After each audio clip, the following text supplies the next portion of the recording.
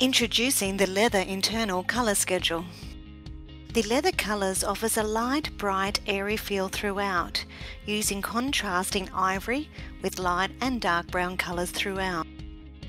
Starting with the bluestone ivory floor tile.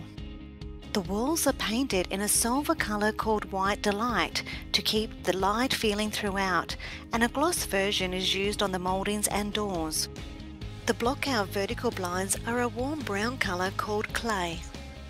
The white frame and glacier, which is a white colour door, is used for the wardrobes to brighten the bedroom. The kitchen cabinets have a very dark brown matte laminate named Leather, and the bench tops are Silestone Blanco Matrix.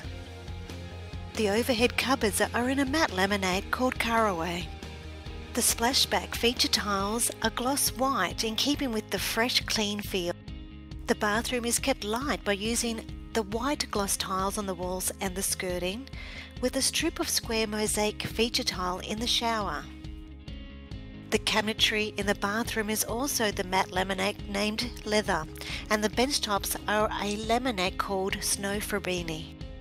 A darker carpet colour called Pindarra is used in all the bedrooms. For double story homes, the upper levels and stairs are also carpeted.